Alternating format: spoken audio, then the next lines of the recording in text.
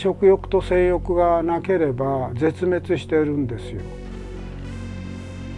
世の中の人はセクシーロボットって言ってるけど私にとっては女神なんですよ。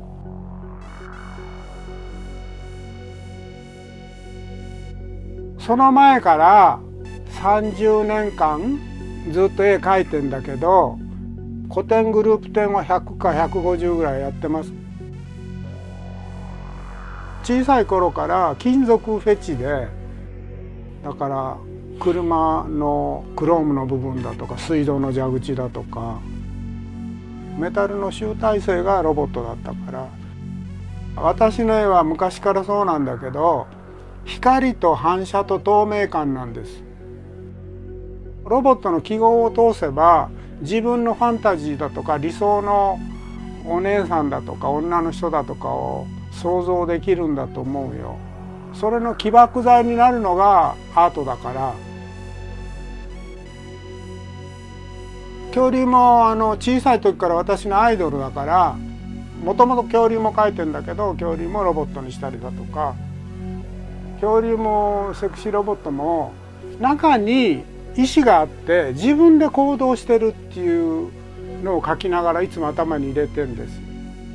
もしこの女の人が生きてたりだとか恐竜が生きてたらどういう行動をするだろうっていうの？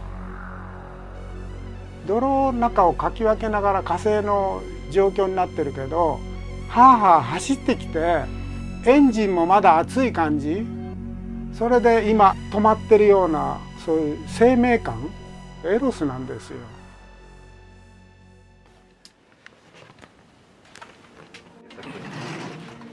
あの朝起きて私が最初に起きちゃうんだけど、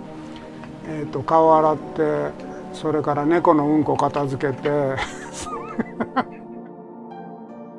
ここにいる間は精神は飛び回ってんだけどそういう錯乱状態に近いんだけど家に帰ったら奥さんがいて社会性取り戻しますよ。この辺が資料資料だけどなんだかグラデーションで並四国の大学の時に息が詰まってたのよ。それで造反して、まあ、首同然で方向になって。でしょうがないから昔そういや絵を描いたのが楽しかったなそれと褒められてたなっつうので東京に来てデザイン学校入って絵では食えないから昔の50年前の話だと。それでねグラフィックデザインっていうのを選んだんです。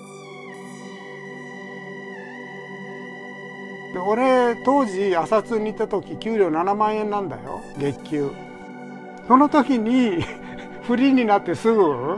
全部100万100万って通してたの。そのロボット書き出してそれでこの家も買えたし。私のストリートの方から入ってる人が多いのよ。喜んでメジャーが大好きなんです。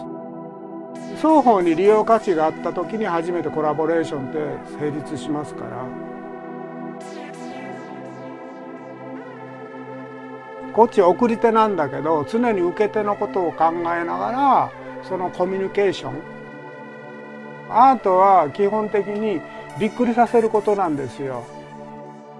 子供わーっていうのと同じような大人をわーっていうぐらいのびっくりさせたらこっちの勝利なんです。だから常にアグレッシブに次々攻めてきますけど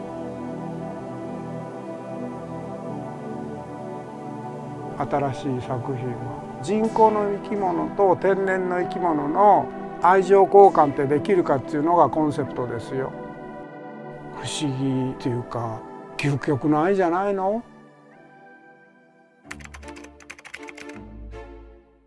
今日はゼロだね。あなたたちが邪魔するから。昔は3日間ぐらいでかかって描いたりなんかしてたけどその代わりあの体壊すから。であの書き出すと自分が天才だと思うのよ。結局3時間だとか4時間ぐらいでやっといい仕事ができるね。だから徹夜っつうのはもう何十年もやってないジャコメッティが1,000年ぐらい生きると初めて満足のいく作品ができるって言ったのよ。それで俺が300年でそれ以来俺は1000年って言ってんの。ありません。ネクストワンってチャップリンが言ってるけど私今はネクストスタンダードって言ってんの。だから私が死んでも